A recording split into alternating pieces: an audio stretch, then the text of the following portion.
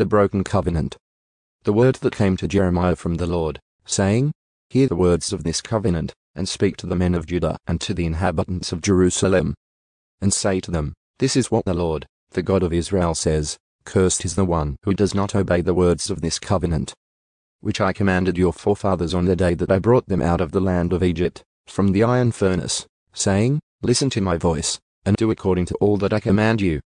So you shall be my people, and I will be your God, in order to confirm the oath which I swore to your forefathers, to give them a land flowing with milk and honey, as it is this day. Then I replied, Amen, Lord. And the Lord said to me, Proclaim all these words in the cities of Judah and in the streets of Jerusalem, saying, Hear the words of this covenant and do them. For I solemnly warned your fathers on the day I brought them up from the land of Egypt, even to this day, warning them persistently, saying, Listen to my voice. Yet they did not obey or incline their ear, but walked in the stubbornness of their evil heart, each one of them. Therefore I brought on them all the words of this covenant which I commanded them to do, but they did not. Then the Lord said to me, A conspiracy has been found among the men of Judah and among the inhabitants of Jerusalem, they have turned back to the wrongdoings of their ancestors who refused to hear my words, and they have followed other gods to serve them. The house of Israel and the house of Judah have broken my covenant which I made with their fathers. Therefore this is what the Lord says, Behold, I am bringing disaster on them which they will not be able to escape. Though they will cry out to me, I will not listen to them.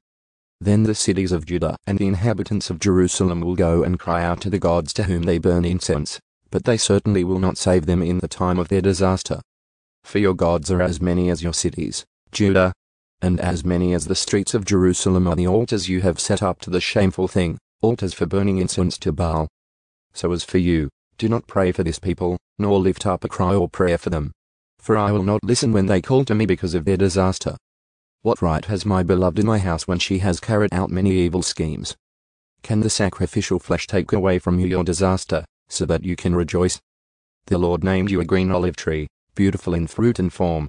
With the noise of a great tumult he has set fire to it, and its branches are worthless. The Lord of armies, who planted you, has pronounced evil against you because of the evil of the house of Israel and the house of Judah, which they have done to provoke me by offering sacrifices to Baal. Plots against Jeremiah. Moreover, the Lord made it known to me and I knew it. Then you showed me their deeds, but I was like a gentle lamb led to the slaughter. And I did not know that they had devised plots against me, saying, Let's destroy the tree with its fruit, and let's cut him off from the land of the living, so that his name will no longer be remembered. But, Lord of armies, who judges righteously, who puts the feelings and the heart to the test, let me see your vengeance on them, for to I have committed my cause.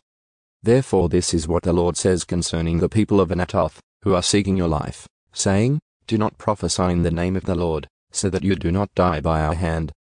Therefore, this is what the Lord of armies says Behold, I am going to punish them. The young men will die by the sword, their sons and daughters will die by famine.